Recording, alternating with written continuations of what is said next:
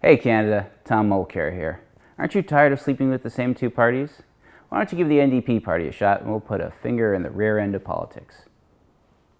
Paid for by the NDP.